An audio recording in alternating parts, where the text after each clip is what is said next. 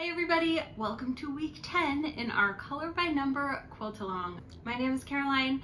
I'm the author of the blog sewcanshe.com and I'm so excited to share with you today another quilting design in a four and a half inch block. Our color by number quilt has 14 different fabrics in it and so we are going to quilt each design 12 times in 12 four and a half inch blocks. If you don't know what I'm talking about, just start at week one in our color by number quilt along and you'll quickly get caught up. It's lots of fun and really easy. So far we've been using both quilting rulers and doing the designs without quilting rulers and that's not gonna change.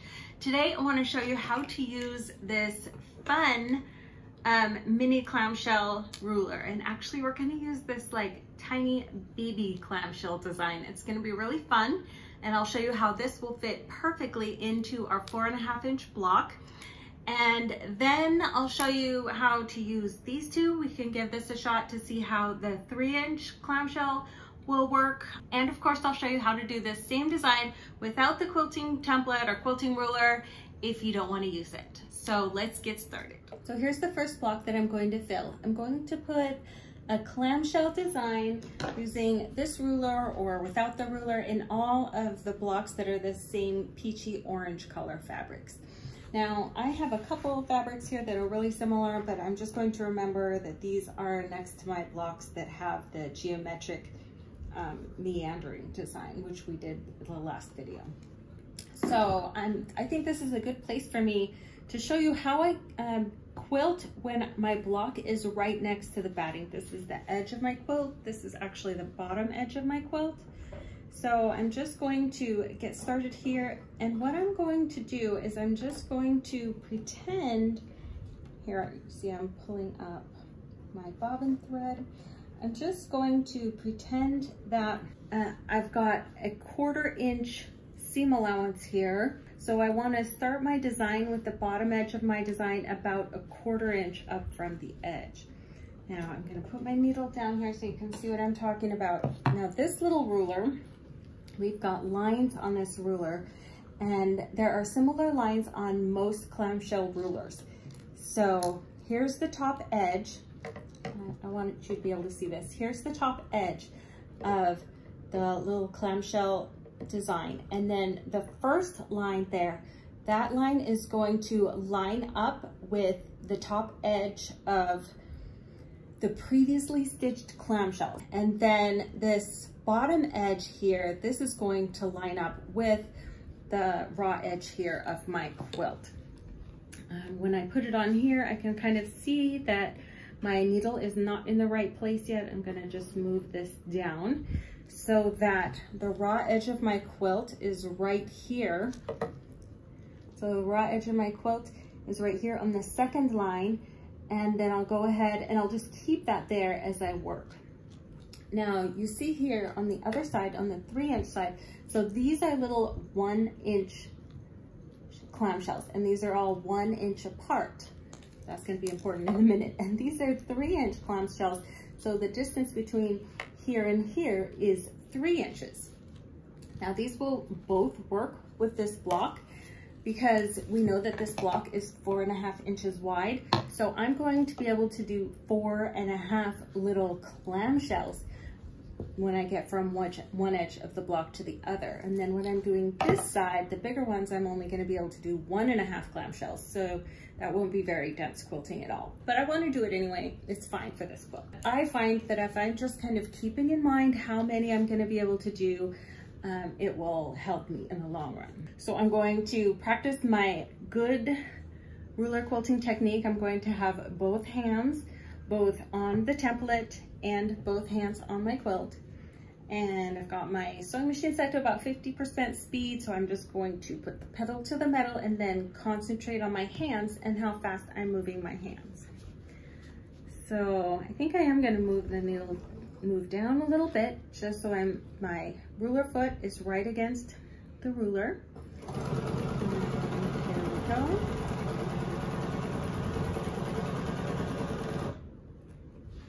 Now I stopped right at the valley of one of these and that's okay. That was just so I could reposition my quilt reposition my hands a little bit. For me, on these clamshell designs, it is easiest to stop in the valley.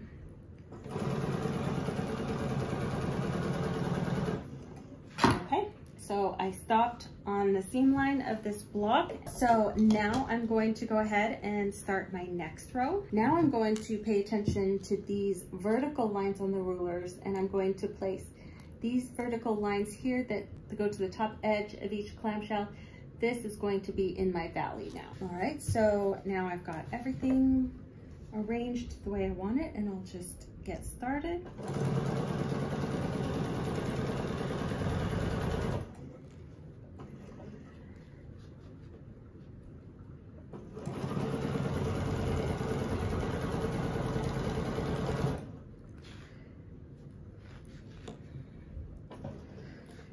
And because I've got a half a clamshell at the end, I am not needing to travel before I make my next row of clamshells. So here we go again. Now, just because I am using a ruler, that doesn't mean that I don't have to watch. Um, the quilting template helps me but this is still free motion quilting and I am still pay paying close attention to make sure that I just kind of bounce at the top edge of each clamshell. Uh, even if the ruler might allow me to go deeper down into this little clamshell, I'm watching carefully and not letting my sewing machine take an extra stitch down into. Uh, the thing with quilting rulers is they're really just a guide. I am not just blindly going where the ruler tells me just because I have a ruler. Um, I'm still paying attention to where the ruler might take me, not letting it go too far. There's another row. So these are tiny and I'm going to have to do a lot of rows. I think I counted and it was 10 rows.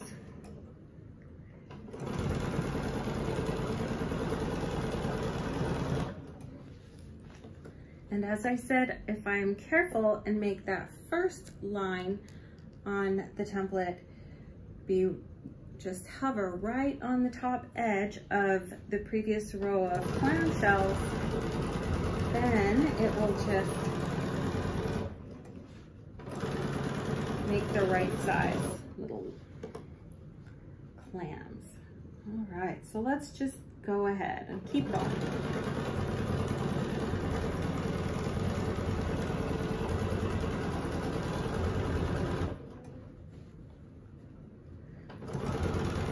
think my biggest surprise when I was learning to use this ruler is that it wasn't really saving me time. Using this ruler, and which, you know, I found with almost all quilting rulers, is I'm not really saving time, but my designs are, they're more accurate. So I have these little clamshells that are almost all the same size and shape, and that's what the ruler is giving me, not necessarily that it's saving me time. So now here I'm almost to the top, and I can see that this is going to give me almost a perfectly filled square. I've got maybe an eighth of an inch at the top here between the top of my last design and my next block and I am just going to stop there and I'm going to travel, stitch in the ditch across and this one is full. I'm not going to try and add any extra little partial clams at the top. There's only about an eighth of an inch and this looks really great to me, just the way it is. So there's one, you see that it kind of took a long time doing the little baby clamshells, but I really love how it turned out. It looks great. So now let's try with these three inch clamshells. So knowing that my block here is a four and a half inch block, I know I'm only going to be able to fit one and a half of these clamshells in on each row. So that's going to be interesting. So I'll make sure that my needle is right in the corner of the block. And then this first line on the ruler is going to be right on the seam line. Okay, and then for my second row, this first line is the one that's gonna be on the top of the previous clamshells. If I had my quarter inch seam allowance showing like I did on the edge of the quilt, I would put the second line here right on the seam allowance on the edge of the quilt. But since I don't have the edge of the quilt, I'm going to just look at this first line here and put this on the seam. So let's go ahead and do one and a half little clamshells.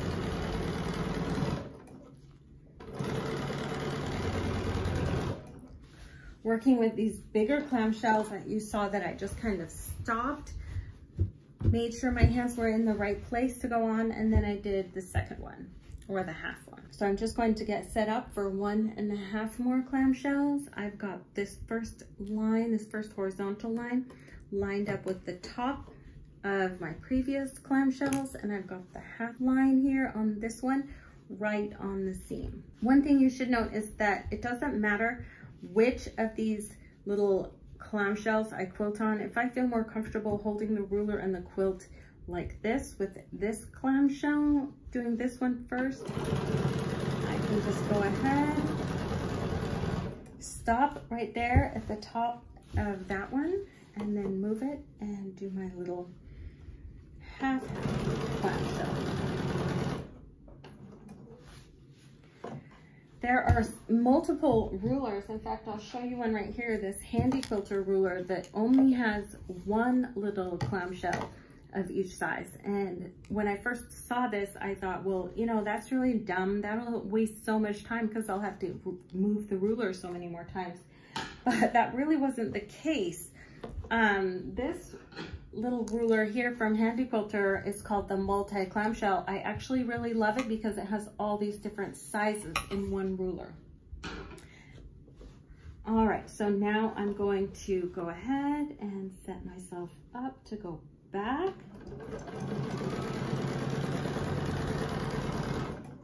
And I'm not going to be able to fit any more clamshells in this block. So this one is really cute. It is not quilted very densely because all I had room for is three rows. But I love this look too. I think it's really cool. So now let's go ahead and try some clamshells without using a quilting ruler. So for this block, I'm going to plan clamshells that are about three quarter inches tall and one and a half inches wide. That means that I'll be able to do three clamshells in each pass. And just thinking about doing three is going to help me. So I'm marking some lines that are three quarter inch apart. And I chose this because one and a half and three quarter inch are easily divisible into four and a half inch for my four and a half inch block. So now I'm just going to go ahead and start again in this little corner. Okay, I'm going to get started and I'm just going to have the top of my clamshell very lightly just touch this line that I marked and then come over and I am imagining three little clamshells here. Now I could have marked this block into thirds, which you can also do, uh, but you might go crazy like I do thinking about so much marking before just getting started quilting. So let's just go ahead and do three little clamshells.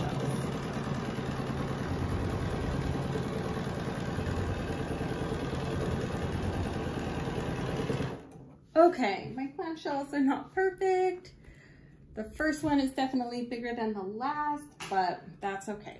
So now I'm going to travel up because you remember on all of our previous ones, we stopped with a half clamshell right here on the side and I'm not stopping with a half clamshell. So I need to work my way up to the top of the next line and I will start with the half clamshell. So I'm gonna do half clamshell, then two clamshells, and then end with a half.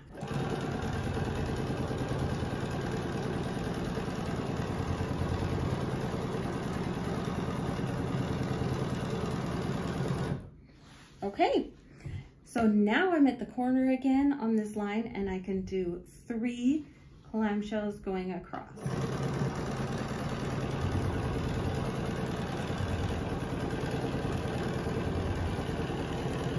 So here I've traveled to the top of the next line and I'm going to go ahead and do a half and then a full and then a full and then a half.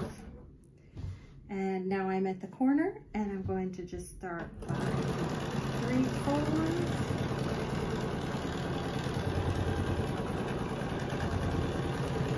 So here are my one and a half inch wide clam shells and they fit nicely in this block. So now I see I have on my quilt, I have one inch, I have three inch, and I have one and a half inch clamshells. I picked these sizes because they fit nicely in my four and a half inch blocks. Knowing the sizes of your blocks and choosing the size of your clamshells to fit inside your block is just one little tip that I can give you that can make your quilting look better and nobody will know why. So I'm just gonna go ahead and keep going and I'll let you watch me. I'm just going to travel up here and I think I'll follow the same pattern. I'll do one inch baby clamshells, then big three inch, and then one and a half inch. And that's just the pattern I'm going to follow with the clamshells in these peachy blocks. So let's go.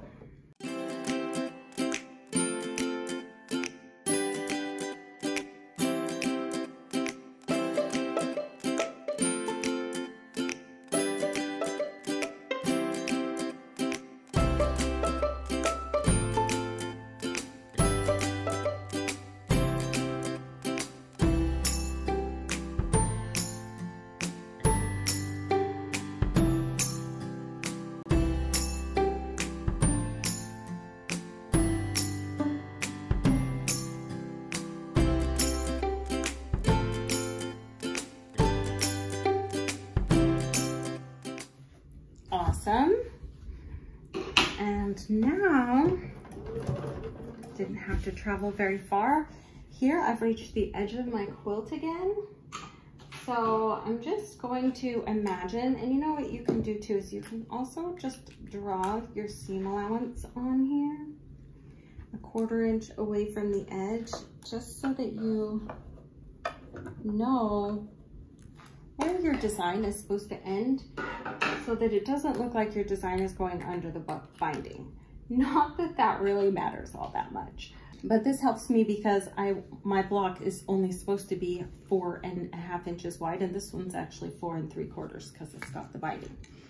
So now on my other one and a half inch wide clamshells, I went ahead and marked and I did those without a ruler. But since I have a little one and a half inch wide clamshell here on my multi clamshell tool, I'm just going to use it. And I know that I should be able to fit three of these little clamshells. So let's see how it goes. There's one, two, three.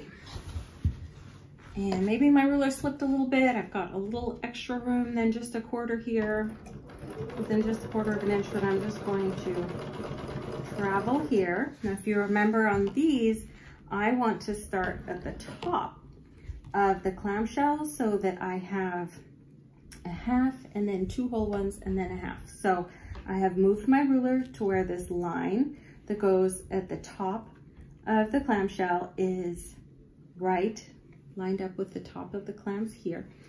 And my needle is at the top of the template here. And I'm just going to go down until I touched that center.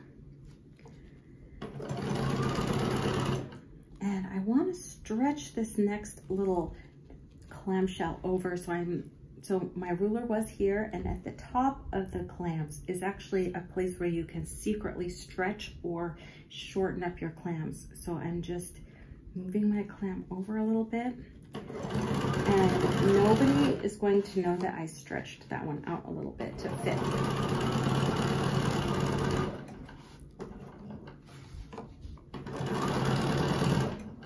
There we go.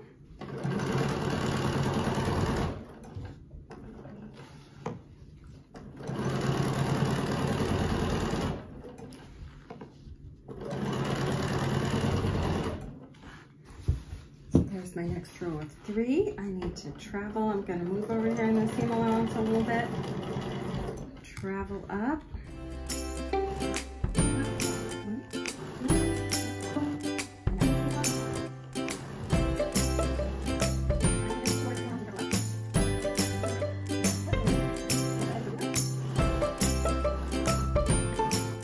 So now I'm in kind of a funny spot. It looks like I have room for about half of a clamshell at the top right here. So what I'm going to do is I'm not going to place the ruler in the same place where I have been placing it with this first line here, with the first line here against the top of the clamshell. I'm going to move this first line down a little bit now, this will cause me to just have to kind of adjust as I go because I want to do some little shorter clams. But they still need to stretch over and reach to the middle of the next clam. But it's working okay. I'm just kind of using the ruler as a guide and I stretched those out and made them the right height. So there you go. I hope you got some inspiration for your color by number quilt on how I did these easy clamshells, mostly using the quilting template, this quilting template from Handi Quilter and this one from Sew Steady. This one did come in the template set number one from Sew Steady if you purchased that. I will put all this information in the blog post and also under the YouTube video so that you can know where to get these if you want, or you could also do this design without the templates if that's what you want. Thanks so much for joining me. If you have ideas for what you want to see on this color by number quilt along, please leave them in the comments because I'll be planning our next block that we'll hopefully do next Friday. Have a great weekend.